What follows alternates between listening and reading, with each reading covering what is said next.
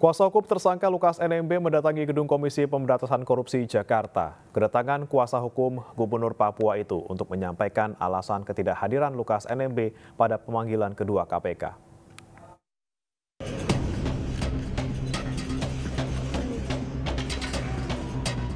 Kuasa hukum Gubernur Papua Lukas NMB Stefanus Roy Rening yang tiba di gedung KPK Jakarta pada Jumat siang merespon pemanggilan kedua kliennya 26 September mendatang. Kuasa hukum beralasan Lukas NMB tidak memenuhi panggilan penyidik KPK dengan alasan sakit. Pihaknya menyampaikan ke KPK dengan membawa sejumlah dokumen dari rumah sakit. Kami sebagai pengacara tidak punya kompetensi kewenangan untuk menjelaskan secara medis, tapi ini harus disampaikan dulu kepada pimpinan KPK, nanti Pak Mote akan menjelaskan setelah kami keluar. Begitu kira-kira, terima kasih teman-teman. Sementara itu Menko Polhukam Mahfud MD kembali membantah penetapan tersangka bagi Lukas NMB bernuansa politik. Mahfud menjelaskan ada dugaan dana otonomi khusus yang menguap sangat besar sehingga rakyat Papua belum sejahtera.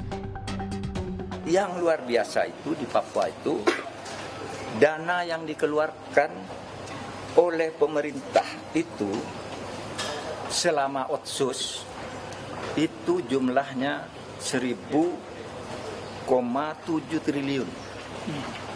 1000,7 triliun tidak jadi apa-apa. Rakyatnya tetap miskin. Marah kita ini. Negara nurunkan uang, rakyatnya miskin kayak gitu. Rakyatnya miskin.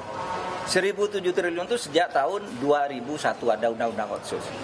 Sejak zaman uh, Pak siapa Pak uh, Lukas NMB itu 500 triliun lebih. Tidak jadi apa-apa juga. Rakyatnya tetap miskin. Pejabatnya foya-foya.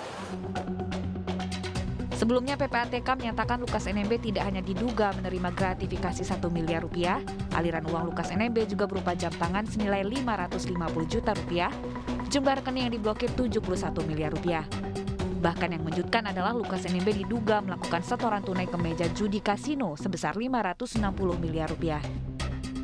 Hingga saat ini Gubernur Papua Lukas NMB masih bertahan di rumah pribadi yang dijaga pendukungnya setelah ditetapkan menjadi tersangka korupsi oleh KPK. KPK telah melayangkan surat panggilan kedua kepada Lukas NMB agar hadir dalam pemeriksaan pada 26 September 2022 untuk diperiksa sebagai tersangka. Absennya Lukas NMB pada panggilan pertama diklaim kuasa hukumnya karena sakit.